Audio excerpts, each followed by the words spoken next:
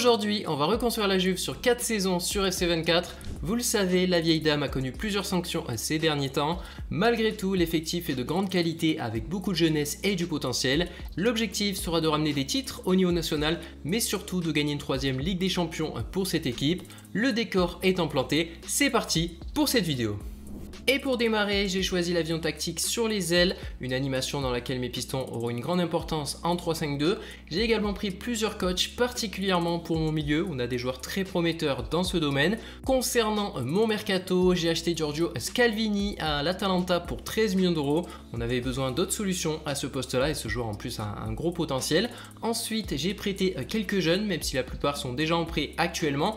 J'ai fait du dégraissage également avec la vente de Deciglio à West Ham pour 9 millions d'euros celle de Pensoglio également à Sheffield ou encore euh, Alexandro vendu à Bilbao pour 10 millions d'euros. Et pour finir, j'ai acheté, j'ai complété mon mercato par l'achat de Danilo Pereira, le parisien qui débarque pour 19,2 millions d'euros, un joueur de rotation qui apportera polyvalence et expérience dans cette équipe. Voici l'équipe type de cette première saison. On est toujours en 3-5-2 avec Kostic et McKenny sur le côté droit, même si ce dernier n'a pas été très performant par rapport au, au Derrière Scalvini qui a joué, même s'il a manqué un petit peu de temps de jeu, on le voit avec son tranchant et, son moral. Et puis on a ce duo devant euh, Chiesa, Vlaovic qui est, très très fort. Donc franchement content de, cette équipe. Ça change aussi de jouer en 3-5-2, ça offre d'autres possibilités au niveau euh, tactique.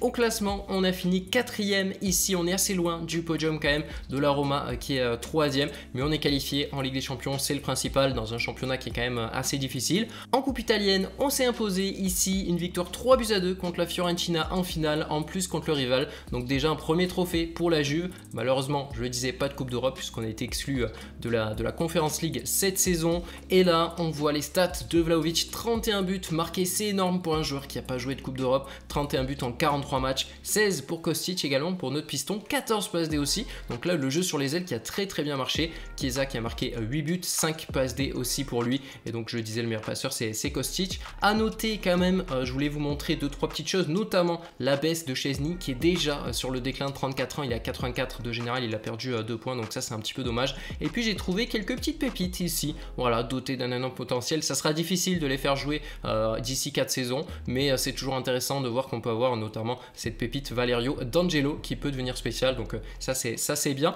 Niveau stats en championnat, on le voit ici, et eh bien Vlaovic qui est très très bien classé à la troisième place, mais c'est pas assez face à Martinez et Osimhen qui ont marqué 28 buts, 38 matchs, 28 buts c'est beaucoup évidemment, là on a des, grands buteurs. Hein. Kostic qui est le meilleur passeur, par contre 12 passes D en 38 matchs. Et de l'autre côté, nous avons Mike Maignan en meilleur gardien, 15 invincibilités en 38 matchs. De retour à la fin de la deuxième saison, et pour commencer, j'ai vendu Milik à Galatasaray pour 32 millions. Forcément, j'ai acheté un nouveau gardien, c'est le géorgien Mamardashvili qui débarque pour 35 millions, plus un échange avec Chesney.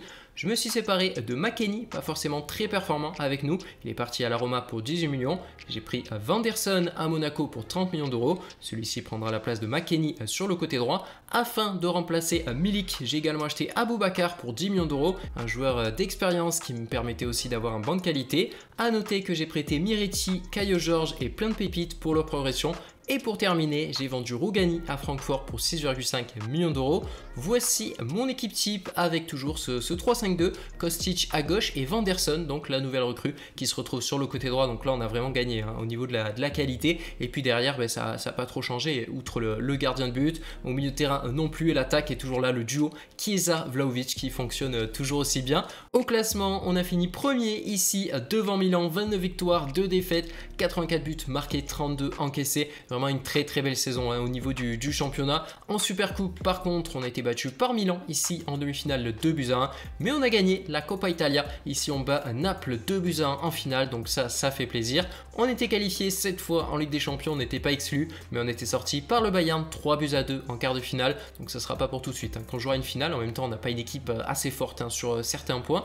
Au niveau des stats, là, on est quand même à un nombre de buts impressionnant. Bien sûr, pour Vlaovic, 39 buts marqués pour lui avec la Coupe d'Europe. Pas de passe par contre, c'est vraiment un, pur buteur. 22 buts pour Rabiot, ça s'est abusé. 20 passes D également pour le français. 22 buts aussi pour Chiesa qui est, qui, est, là. Et donc le français qui est bien le, meilleur passeur assez largement. Tiens, Fagioli qui a marqué, qui a délivré pardon, 12 passes D. Donc lui aussi, il a été assez efficace. Et Bellotti qui est le meilleur buteur ici avec 23 buts en 37 matchs. Vlaovic qui en a marqué 23 également. Peut-être qu'il y a des penalties qui sont pris en compte. Rabiot qui est le meilleur passeur ici. On domine le classement des passeurs à chaque fois.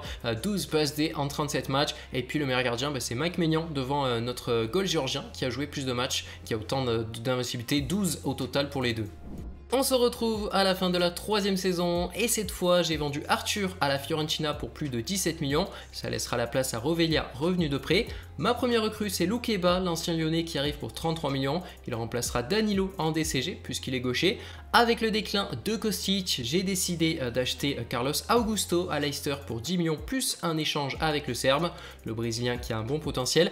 Pas d'autres recrues puisque mon effectif est déjà très très complet un peu trop complet même puisque j'ai décidé de vendre Pellegrini à la Fiorentina pour 12 millions d'euros. Et voici l'équipe type toujours ce 3-5-2 le renforcement des pistons encore une fois avec euh, le brésilien. Il faut vraiment avoir des, joueurs de qualité vu notre vision tactique. Et puis euh, ce milieu Rovelia qui s'est installé petit à petit même s'il n'est pas encore euh, totalement satisfait. Et devant Vlaovic à 91 Chiesa à 88 ça continue de, bien augmenter. Malgré tout au classement on a fini deuxième ici derrière Milan. C'était très très serré. Mais on est derrière les, les Rossoneri avec 3 défaites, une défaite de trop hein, sans doute, 41 buts encaissés, 74 marqués, ça reste quand même un, très très bon bilan.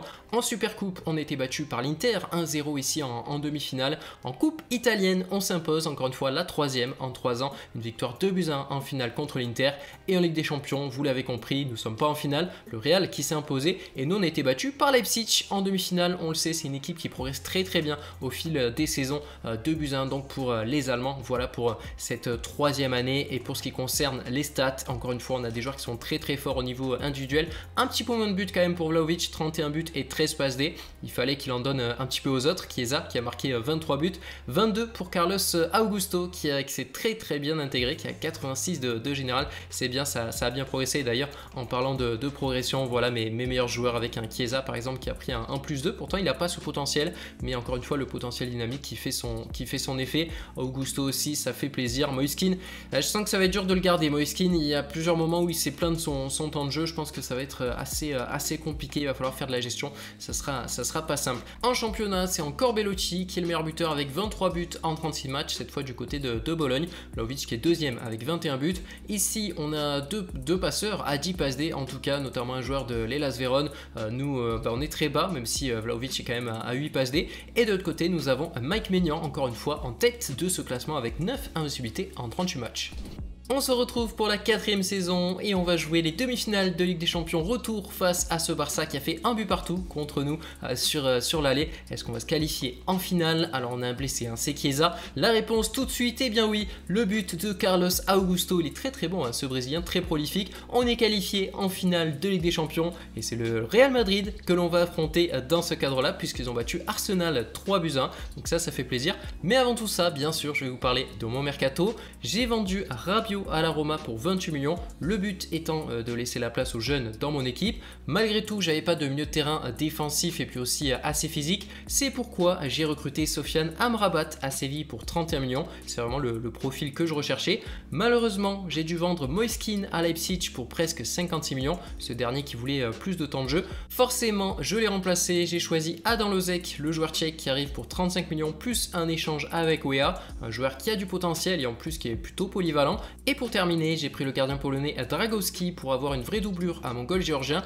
Vous avez ici donc l'équipe type avec malheureusement la blessure de Chiesa qui ratera la finale. Malgré tout, Miretti qui a dépassé, ben, qui a dépassé Rovelia pratiquement, il a euh, la même note, mais en tout cas c'est lui qui joue actuellement et il est très très bon lui aussi. Carlos Augusto, on l'a vu très fort, décisif en demi-finale et puis la, défense qui s'est bien renforcée au niveau du, du général, donc ça va être très très bon au classement, on termine premier ici euh, devant l'Inter avec 25 victoires, 6 défaites, c'est pas un bilan exceptionnel, 85 buts marqués, 40 encaissés. En Super Coupe, on atteint la finale cette fois, mais on a perdu 3 euh, buts 1 en finale contre euh, l'AC Milan. Mais on a gagné la Coupe italienne, encore une fois 4 coupes en 4 ans, 2 buts 1 ici en finale contre l'Inter. On va regarder les stats tant qu'on y est, comme ça on conclura tout ça par une finale de Ligue des Champions. On a 32 buts pour Vlaovic ici en 57 matchs, 2 passes D, 25 buts également pour Carlos Augusto Lui vraiment c'était une très très bonne recrue. En plus il est décisif dans les gros matchs.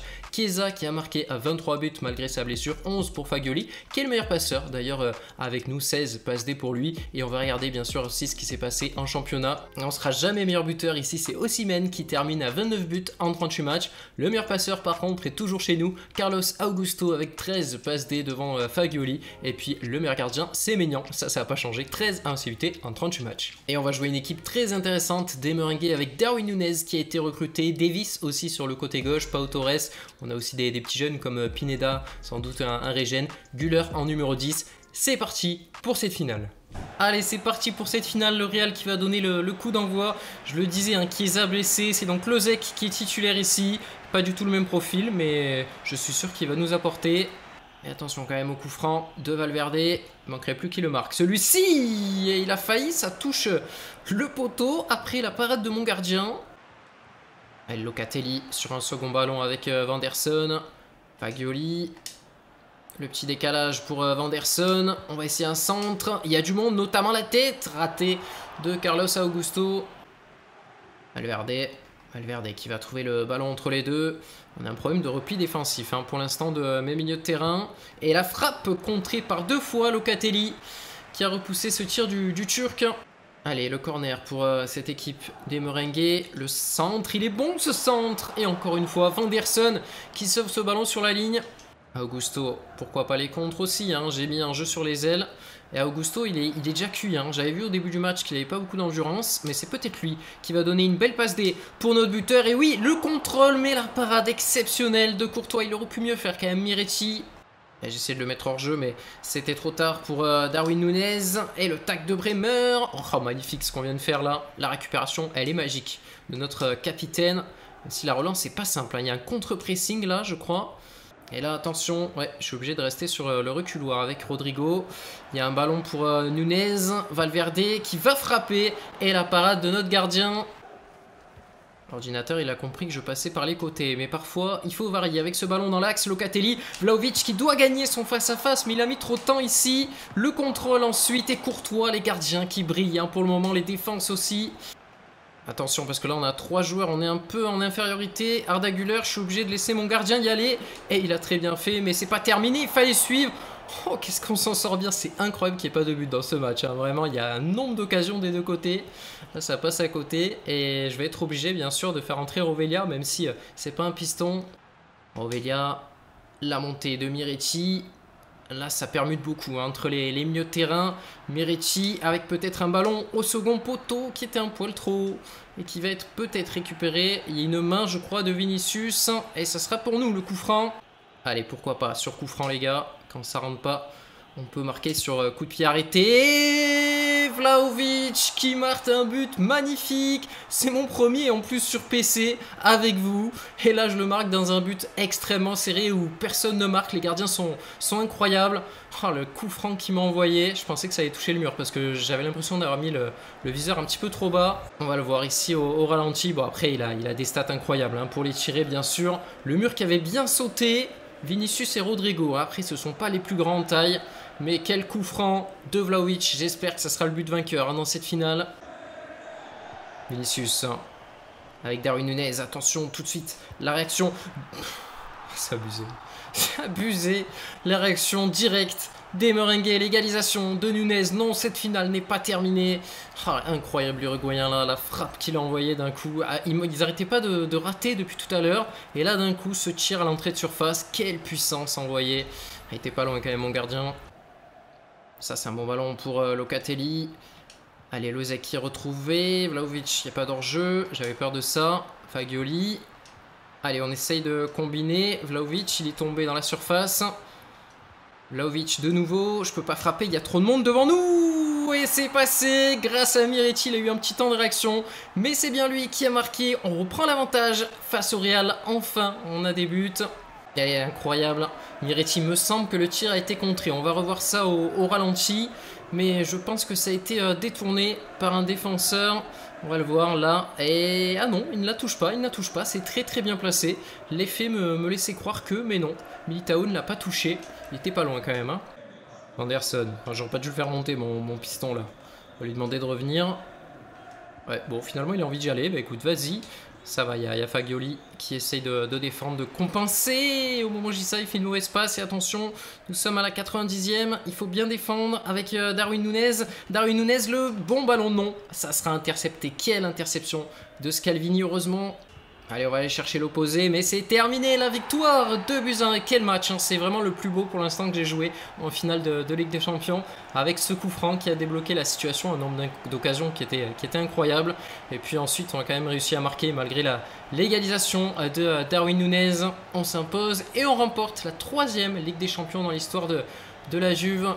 Bon, mais franchement, ont testé le 3-5-2. Il y a quand même beaucoup de trous en défense. Hein. J'ai l'impression que c'est pas la, pas la meilleure compo à, prendre dans ce jeu. Et Bremer, notre capitaine ultra solide, qui soulève cette Ligue des Champions, c'est fait.